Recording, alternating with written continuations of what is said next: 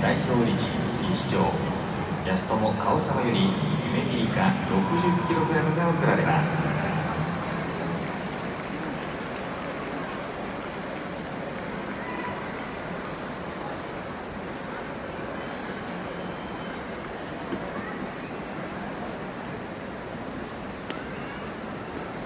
では本日のヒーローインタビュアー STV 神谷誠アナウンサーお願いします。札幌ドームのそしてテレビラジオの前のファイターズファンの皆さん今日のヒーローは加藤投手渡辺選手です。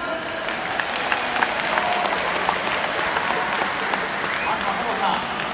チームが3連勝でオールスターご自身初のマウンドが回ってきました。どんな意識でした？あ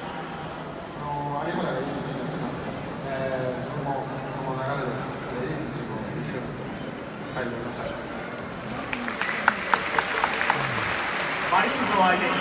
5回1安打無失点。3塁も踏ませませんでしたね。本当に野手のいいプレーもありましたし、えー、中継ぎの本当に負担になってるんですけど、まあ、その中でチームが勝ててよかったです。加藤投手の好投もありましてチームはこれで4連勝になりました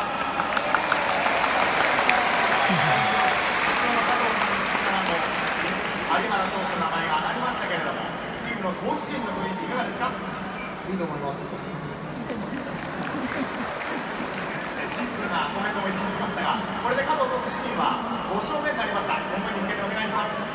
えー、まだまだあの試合も続くんで、えー、皆さん、全員よろしくお願いします。ありがとうございます。加藤投手でした。続いて渡辺亮選手です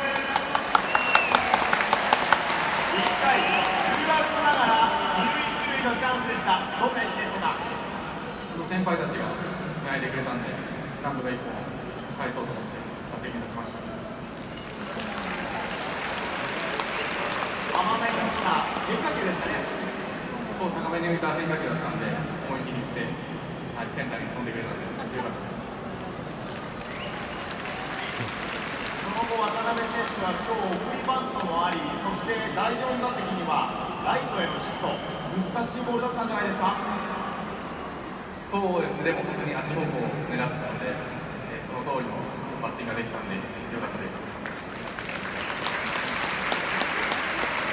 マンゴード選手の怪我もありまして渡辺選手最近は5番中田選手の後ろを打つ打順を任されていますがいかがですか？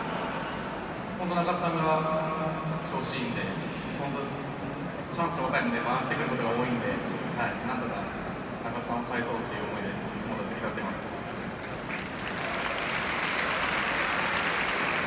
投打ががっちりかみ合いましてファイターズはこれで4連勝そして首位のホークスが今日敗れるために歓迎会に決まりました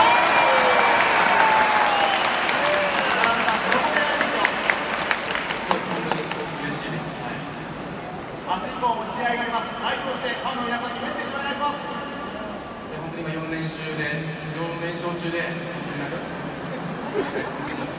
れでは渡辺選手最後にもう一度メッセージお願いしますチームが4連勝中で、えー、状態がいいので、ぜひ札幌ドームに足を運んで応援していってください。お願いします。